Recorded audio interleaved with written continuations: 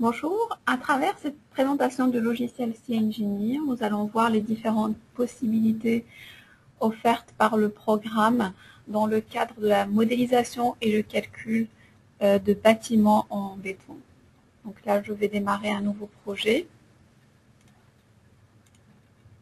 La première étape consiste à définir les paramètres du projet via le menu qui vient de s'afficher.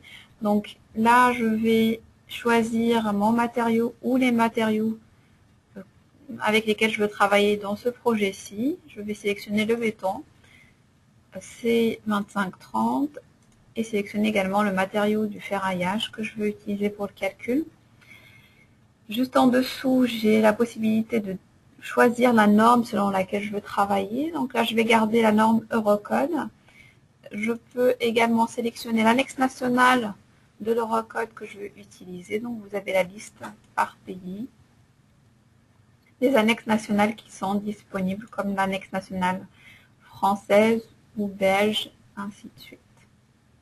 Donc euh, là, dans cet exemple, je vais garder l'annexe nationale standard. Euh, dans l'onglet fonctionnalités, je vais activer la fonctionnalité solde de fondation. Euh, cet onglet va me permettre en fait de venir sélectionner les différentes fonctionnalités que je veux activer au niveau de mon interface. Il s'agit de fonctionnalités euh, avancées comme le calcul dynamique, non linéaire, ainsi de suite. Après cela, je vais venir valider ce menu, ce qui va me permettre de charger l'interface de mon projet. Donc cette interface est constituée de la fenêtre graphique 3D, ici au milieu, dans laquelle je peux saisir un modèle 3D en filaire et surfacique, plaque et coque. Sur la gauche, ici, j'ai le menu principal qui est organisé sous forme de chronologie de projet. Donc, euh, pour définir un projet, vous partez du haut de ce menu jusqu'en bas. Donc, on commence par les paramètres de projet que je viens de définir.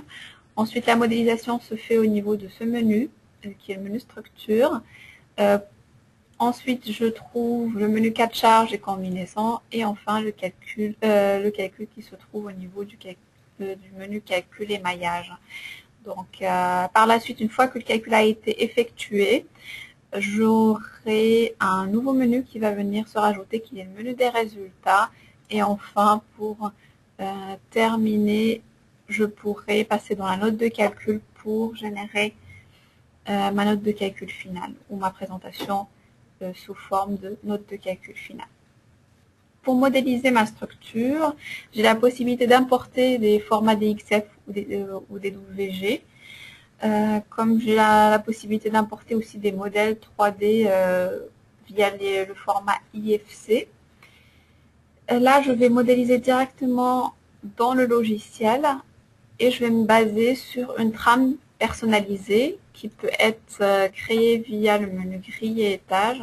Donc il s'agit de l'option grille qui existe soit sous forme de grille 3D, soit sous forme de grille orthogonale.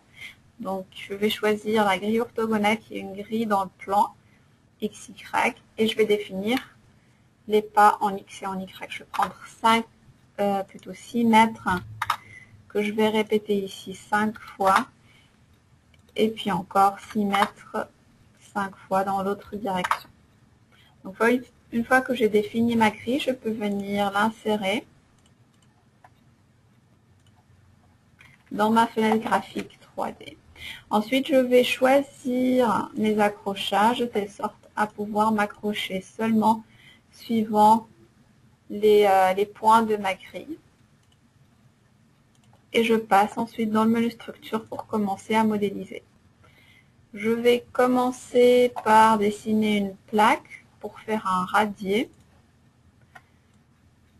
Là, je choisis l'épaisseur de ma plaque, 300 mm, et je viens m'accrocher au niveau des nœuds de ma grille pour dessiner cette plaque. Je vais dessiner un polygone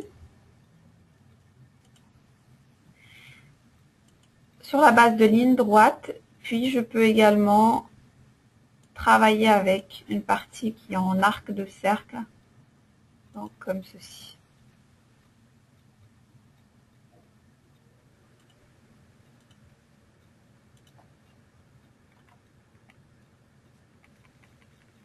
Donc là, j'ai fini de définir ma plaque. Je vais passer à la définition des, voiles. je vais lancer la fonctionnalité voile. Je choisis également l'épaisseur. Je vais prendre 200 mm. Et puis, je vais aussi définir la hauteur. Et je vais prendre 3 mètres dans ce cas-là. Pour définir les voiles, je vais utiliser cette option qui est suivre une ligne prédéfinie. Il suffira alors de simplement sélectionner les lignes prédéfinies pour que le logiciel me génère directement des voiles de 3 mètres dessus. Et je vais faire d'autres voiles à l'intérieur en les dessinant comme ceci. Toujours en m'accrochant au niveau des, euh, nœuds de ma grille. Alors, je peux représenter le rendu de ma structure, comme ceci. Et puis, je vais continuer en introduisant des, éléments type poteau. Cette fois-ci, ce sera sous élément 1D. Donc, je choisis le type poteau. Je vais définir la section du poteau. Je vais prendre une, section rectangulaire, euh, pardon, euh, circulaire avec un diamètre de 350 mm.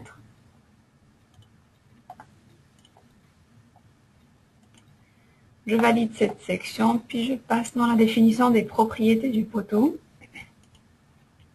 Je vais prendre également une hauteur de 3 mètres et je vais venir toujours m'accrocher au niveau des,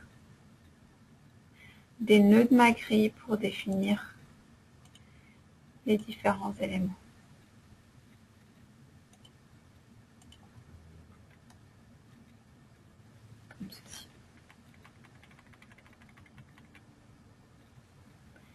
Alors, je vais définir une plaque qui va venir se poser sur ces voiles, simplement en sélectionnant le radier que j'ai déjà dessiné, puis en le copiant vers ce nœud-ci. Je vais ensuite définir une ouverture dans cette plaque.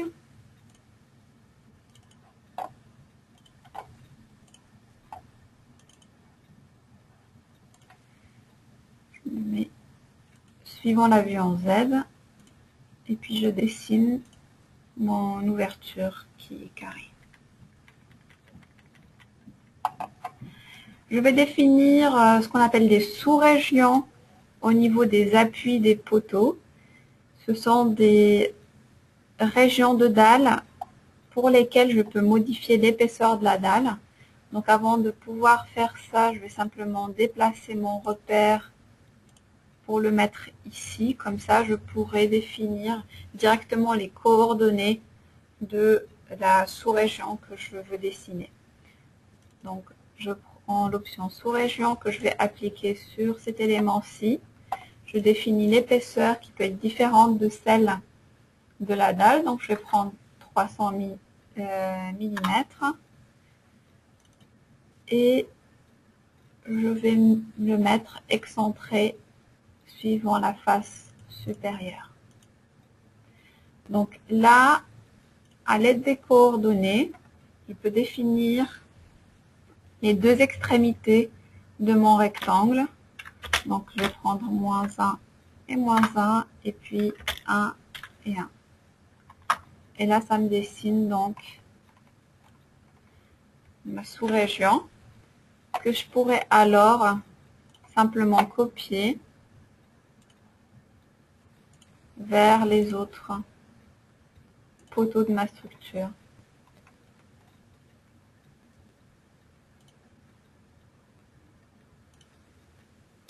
Le logiciel CI Engineer est un logiciel orienté objet, ce qui veut dire que tous les éléments que je vais introduire euh, dans mon projet seront traités comme des objets. Si je prends par exemple un élément de dalle et que je le sélectionne, je retrouve ses propriétés, donc les propriétés de l'objet dalle, qui sont affichées via ce menu que vous voyez sur la droite, qui est menu des propriétés, et qui me permet d'adapter rapidement les propriétés de l'objet sélectionné. Comme ici pour la dalle, je peux rapidement modifier l'épaisseur et passer à 200 mm au lieu de 300.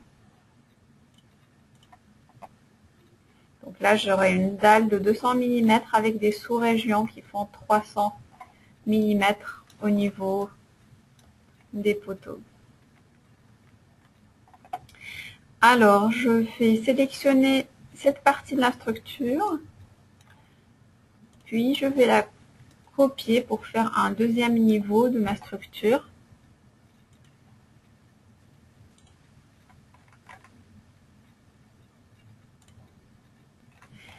Et je vais sélectionner certains voiles que je vais remplacer par des poteaux.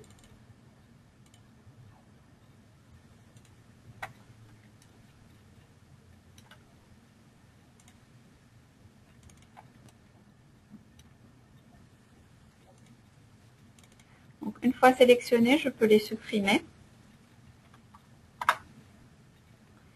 Et puis, je vais introduire des poteaux qui ont la même section que ceux que j'ai déjà définis. Donc, je vais en prendre un déjà défini, puis je vais simplement le copier.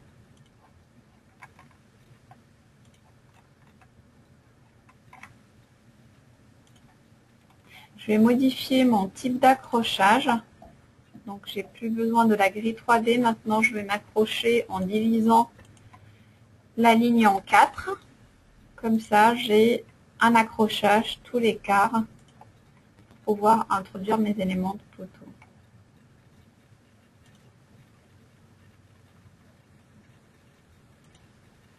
Puis je continue de l'autre côté.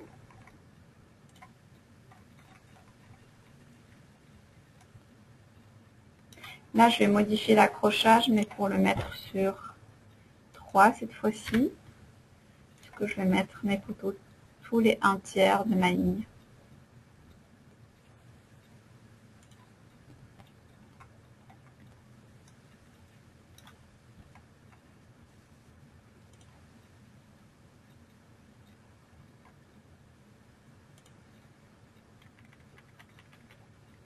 Là, comme j'ai plus besoin de ma grille, je peux la cacher.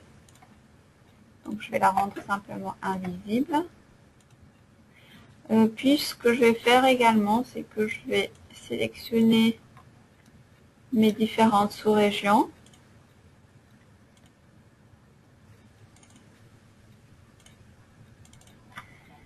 Et puis, je vais les supprimer sur le niveau supérieur.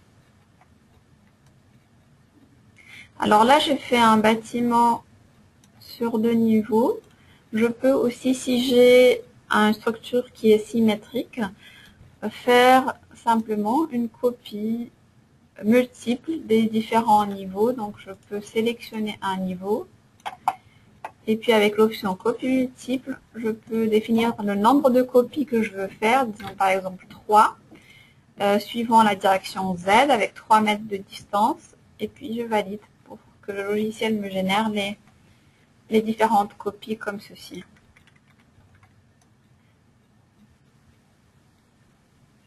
Donc là, ce que je vais faire, c'est que je vais resupprimer cette partie que je viens d'ajouter, puis je vais garder seulement les deux niveaux de ce projet pour continuer ma présentation. Avant de pouvoir passer au chargement et au calcul, il faut que je mette des conditions limites. Là, j'ai la possibilité de mettre un, appui surfacique, donc de type sol. Pour l'appui surfacique, je peux définir la rigidité du sol via ses propriétés de sol. J'ai également une bibliothèque de sol qui est prédéfinie, que je peux utiliser, ou bien je peux aussi prédéfinir ma propre bibliothèque personnalisée et l'enregistrer pour d'autres projets. Donc là, je vais venir appliquer mon sol au niveau du radier.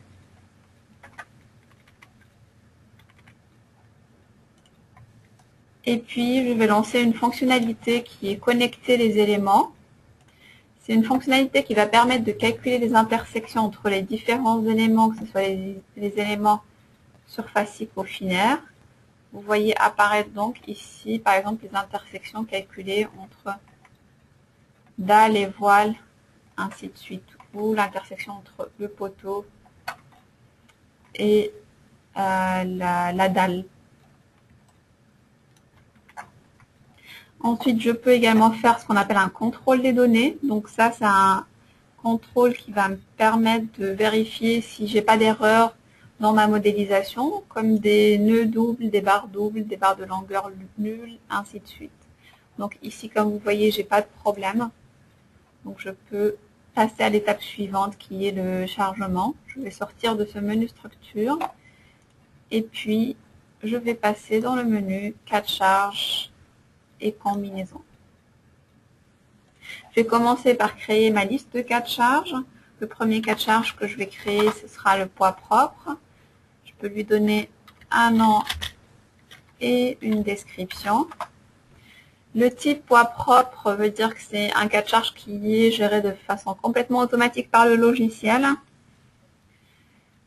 Donc, euh, tout poids propre est appliqué de façon automatique sur la structure. Ensuite, je peux créer d'autres cas de charge, comme un cas de charge permanent, un cas de charge variable ou d'exploitation,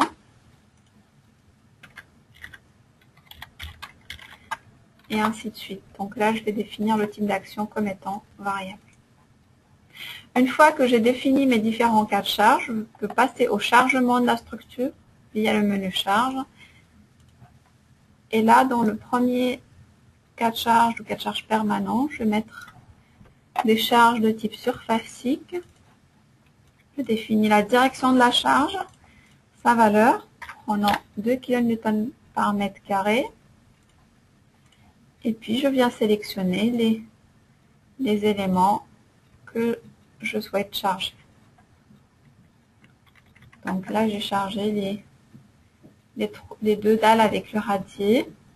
Euh, comme déjà expliqué, le logiciel est orienté objet. Donc, si je sélectionne par exemple la charge, je retrouve ses propriétés également et je peux l'adapter rapidement via le menu des propriétés. Je peux modifier la direction ou la valeur de la charge.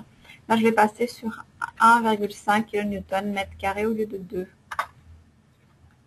Donc, vous voyez que la charge sur cette dalle sera petite que sur celle-ci. Dans le cas de charge variable, je vais venir également appliquer des charges surfaciques avec une valeur de 3 kN mètre carré que je vais venir mettre comme ceci.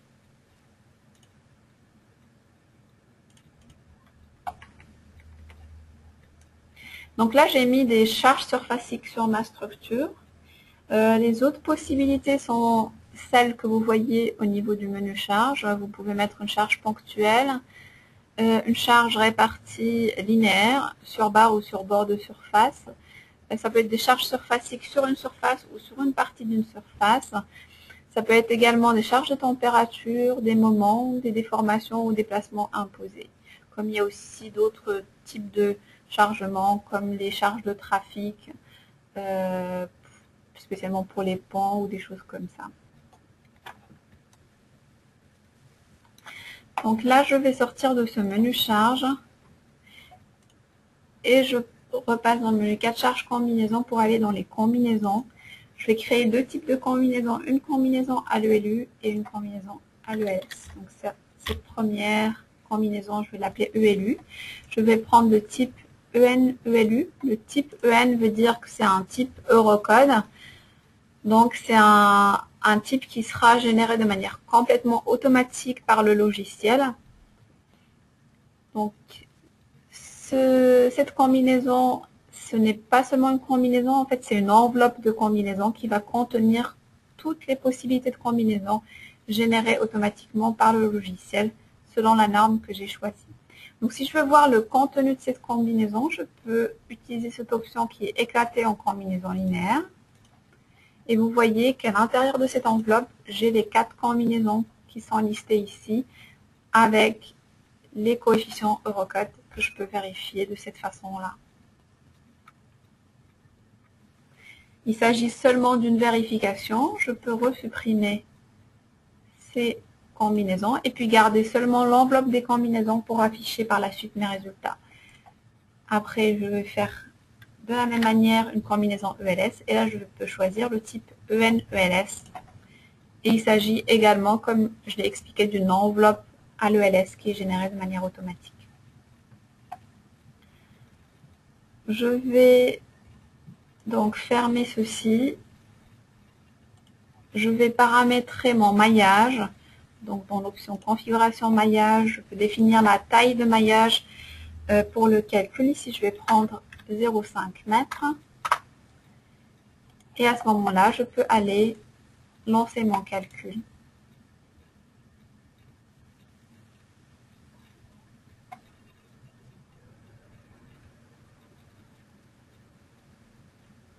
Donc là, j'ai des fenêtres de calcul qui vont apparaître. Et puis, une fois le calcul terminé, j'ai une fenêtre finale qui va s'afficher, qui va contenir un résumé des, euh, des positions où se trouvent les déformations maximales.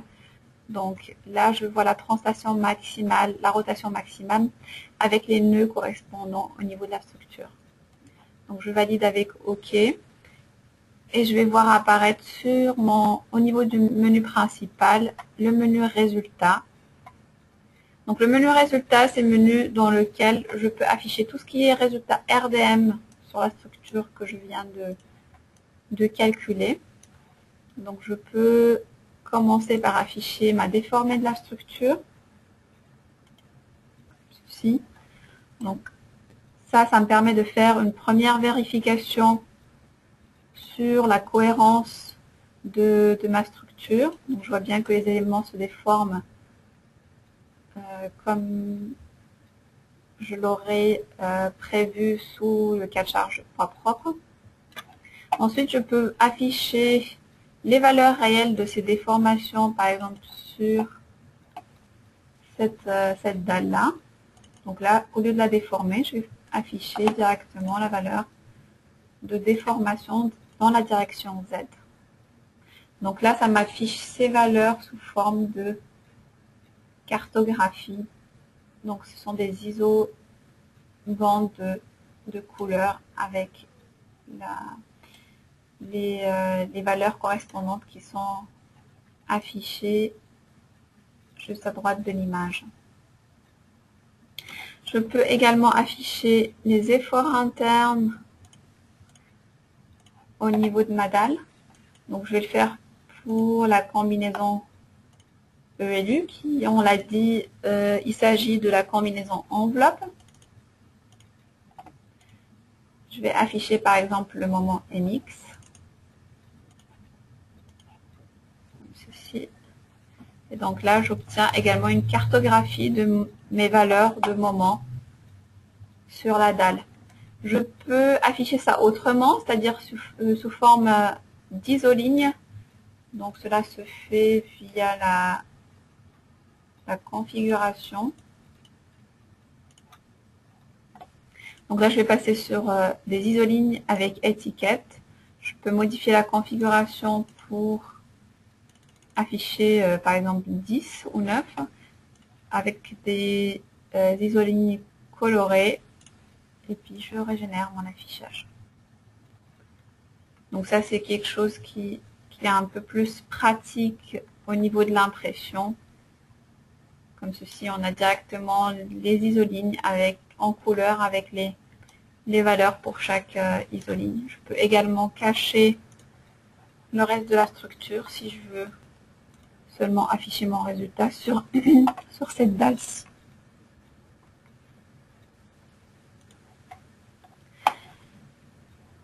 je vais repasser sur un affichage en isobande. Et ce que je vais faire, c'est que je vais dessiner ce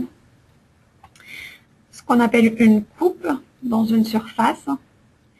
Donc, ce sera euh, le dessin du résultat de la coupe, je le veux dans le plan.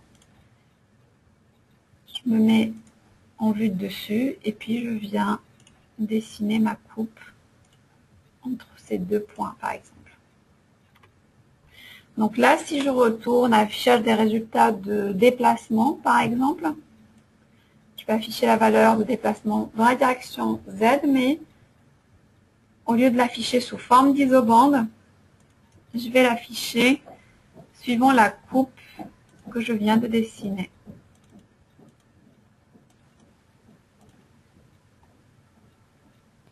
Donc là, j'obtiens mon diagramme suivant la coupe. Je peux également modifier la façon dont je veux afficher ce diagramme. Je vais passer en rempli pour obtenir ce type de diagramme. Je peux aussi augmenter l'échelle pour augmenter la taille de mon diagramme.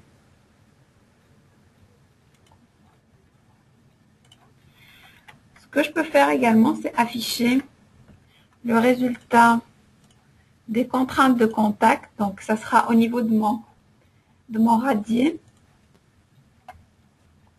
Qui me permet d'avoir les contraintes, les contraintes dans mon sol, en fait. Donc, toujours sous forme d'isobande de valeur.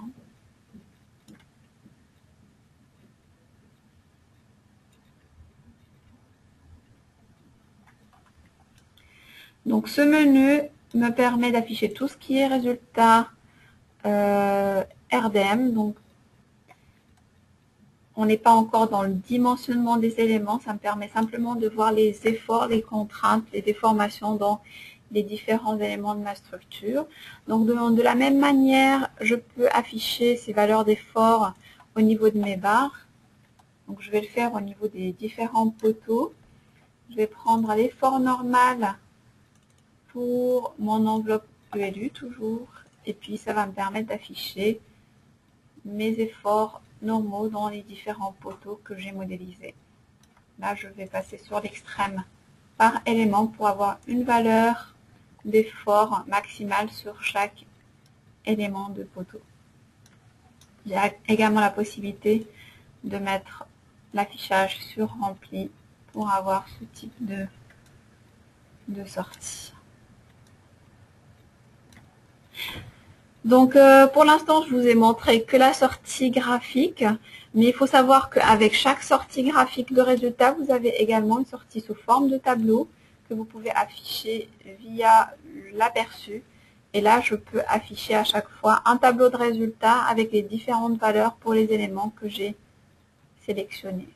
Donc ce tableau avec cette image-là, je peux les intégrer euh, par la suite dans ma note de calcul donc là, si je crée une nouvelle note,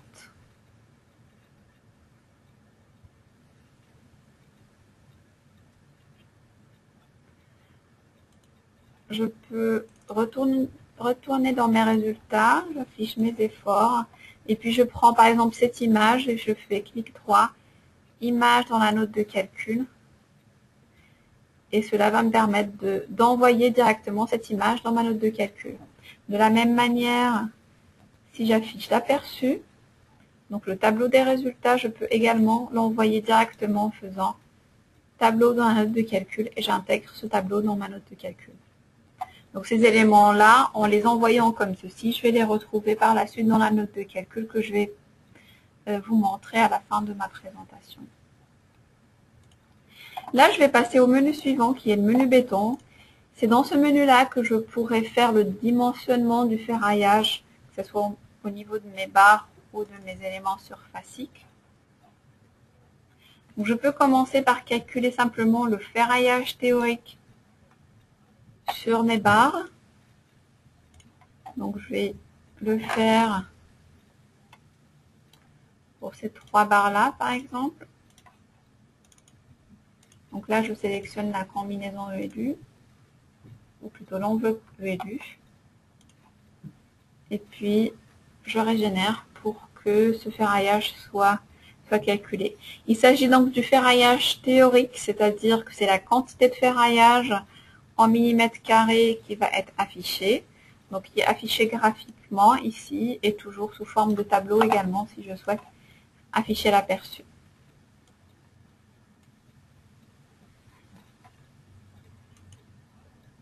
Au lieu de faire le calcul théorique, je peux aussi demander une optimisation directe du ferraillage. Donc, euh, via cette option qui est conception automatique du ferraillage. Donc, toujours pour l'enveloppe ELU. Et je vais le faire pour ces trois poteaux. Donc, il s'agit de poteaux circulaires. Là, le logiciel va essayer, selon les, efforts dans les barres, euh, d'optimiser le ferraillage nécessaire et puis de proposer un ferraillage euh, pratique en dessinant des, barres de ferraillage sur, euh, sur les poteaux.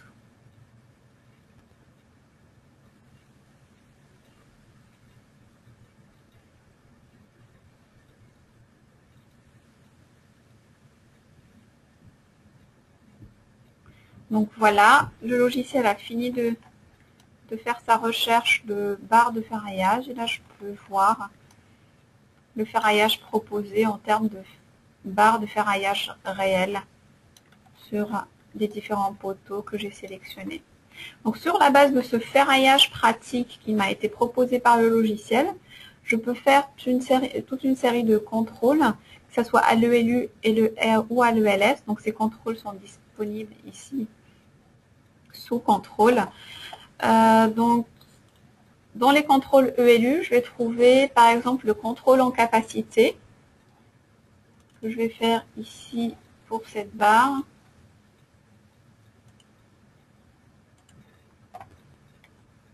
Donc ce contrôle va permettre de contrôler en capacité la barre, c'est-à-dire vérifier que les efforts qui sont appliqués euh, sont inférieurs ou euh, à la capacité limite en moment effort normal du, euh, du, poteau. Donc la méthode qui est utilisée pour ce type de contrôle, c'est une méthode d'interaction euh, moment effort normal. Donc moment biaxial, MY, MZ, et puis effort normal. Donc là, le contrôle est affiché. Il est de 0,78, c'est-à-dire que cette barre ou ce poteau va travailler à 78% de sa capacité. Après, si je veux voir plus en détail le contrôle qui est effectué, je peux faire un contrôle simple. Et là, ça me permet de voir en fait ces diagrammes d'interaction en plan, euh, suivant le moment MY, ou MZ, ou bien en 3D, permet de voir en fait où se trouve le, point euh, suivant lequel cette, barre travaille. Donc c'est le point vert que vous voyez ici, alors que les limites du diagramme se trouvent au niveau de, euh, du graphique gris euh, extérieur. Et je peux faire ce contrôle en fait pour chaque section de, de la barre en passant d'une section à une autre comme ceci.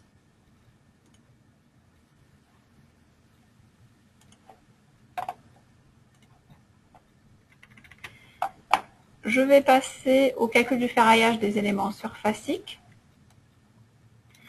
je vais faire sur cette dalle-là. Je vais demander le dimensionnement à l'ELU, toujours suivant l'enveloppe ELU.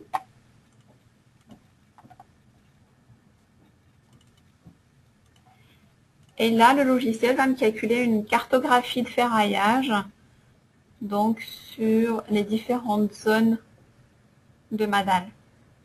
J'ai quatre directions de ferraillage en fait que je peux afficher. C'est un ferraillage en fibre supérieure ou en fibre inférieure, dans la direction X ou dans la direction Y.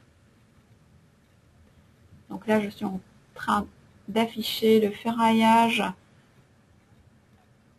dans la direction X en fibre inférieure.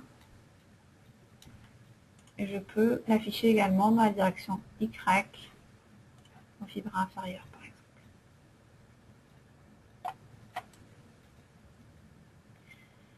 Euh, une autre façon d'afficher ce ferraillage, c'est d'utiliser ce qu'on appelle des échelles isolines utilisateurs.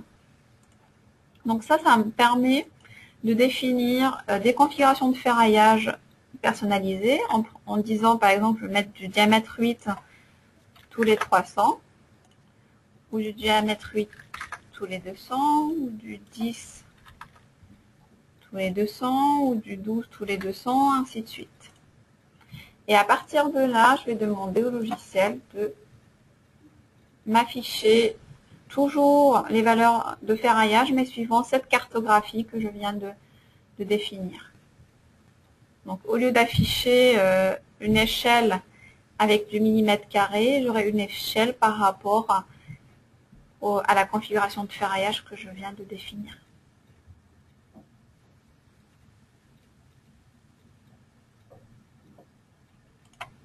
Donc là, vous allez voir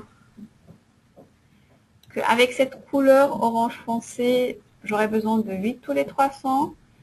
Euh, en orange un peu plus clair, j'aurais besoin de 8 tous les 200. En vert, 10 tous les 200.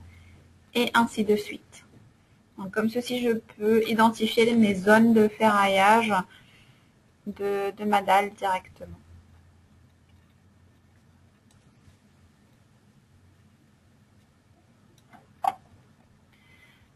Donc, après avoir fini de calculer le ferraillage, je peux, pour terminer, passer euh, à l'édition de ma note de calcul.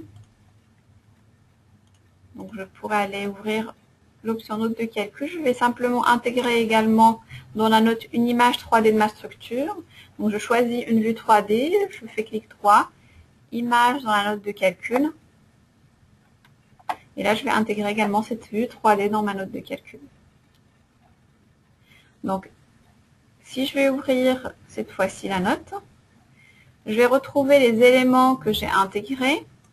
Donc, j'avais mis un tableau des efforts, une image des efforts, et puis une vue 3D. Tout simplement générer cette note de calcul pour que les différents tableaux soient affichés. Là, j'ai mon tableau d'effort interne, une vue euh, avec le rendu de la structure et une vue avec un résultat de calcul. Dans cette note, ce que je peux intégrer également, c'est euh, différents chapitres. Donc là, je peux rajouter des chapitres. Chaque chapitre, je peux lui donner un titre. Donc par exemple, un chapitre avec les données.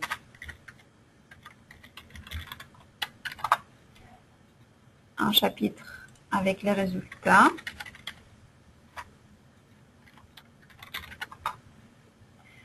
Et ensuite, je peux également créer toute une arborescence en mettant par exemple des éléments en sous-chapitre des chapitres. Donc, je vais passer ça ici. Et cette image, je vais la mettre sous le chapitre donné. Donc on la passe en niveau inférieur. Et vous voyez que ici, j'ai un chapitre donné, puis un sous-chapitre modèle d'analyse, donc avec une numérotation structurée 1, 1.1, et pareil ici avec résultat 2, 2.1, 2.2, ainsi de suite. Je peux également insérer, par exemple, tout au début, euh, ma table des matières, suivi par un saut de page, comme ceci. Je peux intégrer en tête et pied de page.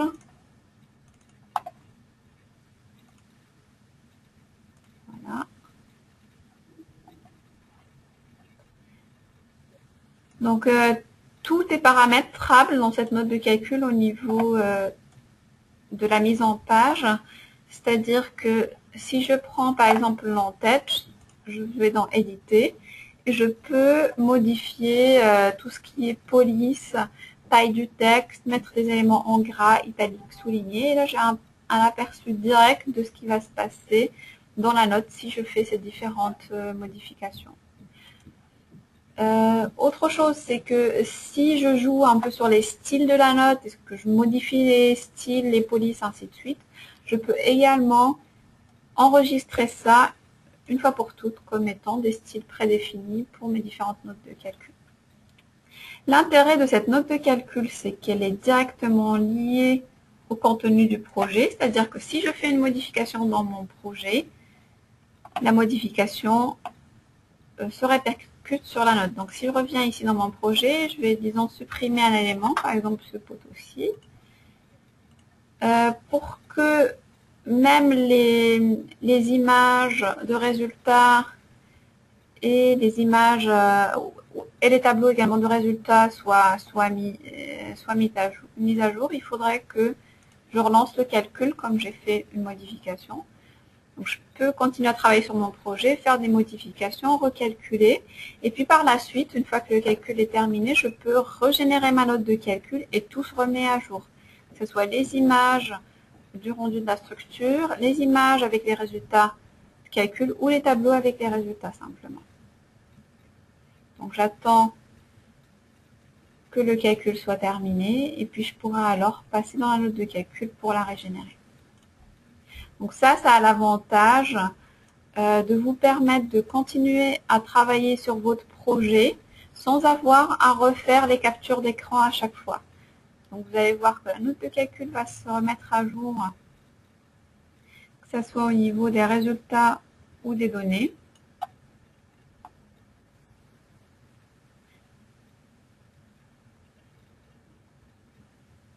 L'autre euh, application de ceci, en fait, c'est euh, le fait de pouvoir enregistrer également cette note de calcul comme modèle. Et puis ce modèle-là, vous pouvez le réouvrir un certain nombre de fois euh, dans différents projets également.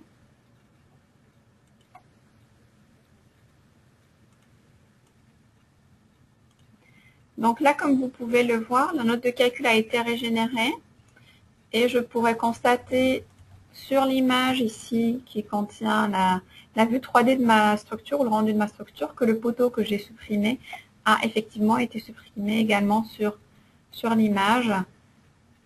Et puis au niveau des résultats également, ce poteau a été supprimé et puis les résultats ont été mis à jour euh, au niveau de l'image avec les résultats. Donc, euh, dans cette note de calcul, ce que vous pouvez également intégrer, ce sont des images externes, que ce soit des images d'XF, des WG ou les images de format standard. Vous pouvez également intégrer du texte que vous pouvez euh, avoir en texte formaté, c'est-à-dire en définissant, euh, en choisissant la police, la taille du texte, ainsi de suite.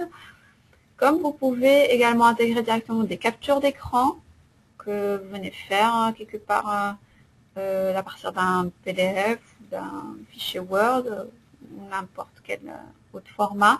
Vous pouvez faire une capture d'écran et venir la coller directement dans la note. Et puis vous pouvez euh, également exporter cette note sous différents formats, format Word, PDF, Excel. Donc je vais vous montrer un exemple d'export PDF.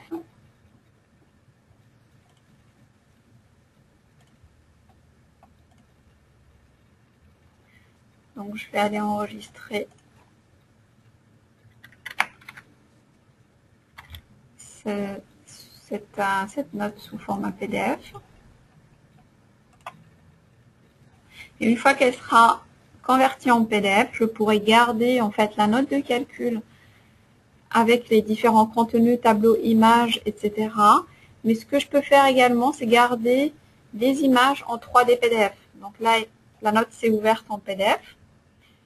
Et puis, je peux garder l'image en 3D PDF, c'est-à-dire que je peux encore la manipuler comme un objet 3D, c'est-à-dire la faire tourner, zoomer, dézoomer, alors que je suis ici, je ne suis plus dans CI je suis vraiment dans, euh, dans le PDF.